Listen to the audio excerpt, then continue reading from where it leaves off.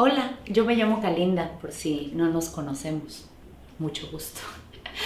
Eh, a veces grabo estos videos para hablar sobre distintos temas y hoy quiero hablar de cómo la honestidad es una práctica diaria, de cómo se va trabajando poco a poco.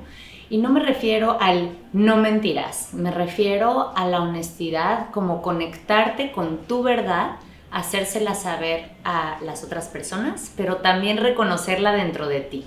Y la razón por la que quiero hablar de esto es porque creo que vivimos vidas en donde no estamos siendo para nada honestas. A mí me ha pasado, estoy segura que a ti también te ha pasado. Eh, donde mm, accedemos a trabajos que pensamos desde el principio, decimos, híjole, la verdad preferiría no hacerlo, o este trato no me parece justo, o yo entendí una cosa, pero como tal vez fue mi culpa, mejor ya no voy a decir nada para que no piensen, o sea, de repente se vuelve algo muy, muy complejo. Incluso entre amigas y personas cercanas a veces no hay honestidad, en lugar de decir, oye, cuando hiciste esto y esto y esto, me lastimaste. O yo pensé que iba a pasar esto y esto y esto y pasó otra cosa y lo sentí inventamos muchísimos pretextos, ¿no? O sea, y los inventamos tan cotidianamente que ya hasta nosotras nos creemos nuestras mentiras. Creemos que no hay bronca, que no nos incluyeron, creemos que no pasó nada, que realmente no estamos molestas, creemos que sí es el trabajo de nuestros sueños, creemos que merecemos menos, porque pues como no dijimos nada y ya nos acostumbramos, igual y sí merecemos menos.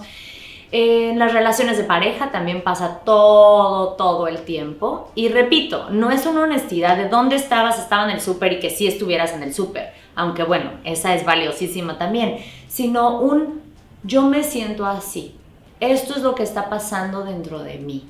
Esto no me tiene contenta. Esto me gustaría que lo trabajáramos. Esa es la honestidad. Y entonces empiezas por ti misma, te conectas contigo, ves, ok, ¿qué es lo que necesito? Y cierro los ojos porque para mí esto sucede como dentro de una meditación, pero pueden tener los ojos abiertos. Pero es como, ok, ¿qué no me está funcionando? ¿Qué está raro? ¿Qué no siento que está fluyendo? Y después cuando tienes esa claridad en ti, después ya la puedes decir a la otra persona. Y hay muchas maneras de decir las cosas, porque a veces también se interpreta que las personas honestas nada más llegamos y ¡pras! destruimos o echamos fuego cual dragón y si se quemó alguien, pues ni modo. Y no me parece que es la manera, porque también si decimos las cosas de una manera agresiva, normalmente nos recibe cierta resistencia o cierta defensiva. Entonces también hay que como, ok, ¿qué es lo que quiero decir?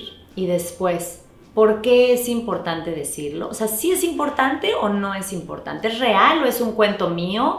Y ok, ¿por qué sí creo que es importante decirlo? Y después de eso, ¿cómo lo voy a decir? ¿Cómo lo voy a decir de una manera amorosa y amable? Y entonces, ahí está.